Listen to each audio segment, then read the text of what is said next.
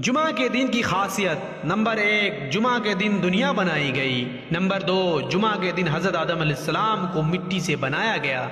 Number तीन, जुमा के दिन हज़रत यूनुस को मछली के पेट से निकाला गया। नंबर चार, जुमा के दिन इस्लाम की पहली जंग हुई। नंबर पाँच, जुमा के दिन मक्का फतेह हुआ। नंबर छः जुमा के दिन हज़रत हुसैन शहीद हुए। नंबर सात, जुमा के दिन हज़रत मूसा की कौम को फ़िरौन की जुल्म से निजात मिली। नंबर आठ, जुमा के दिन हज़रत ईसा दुनिया में तशरीफ़ लाए। नंबर नौ जुमा के दिन ही क़यामत आएगी।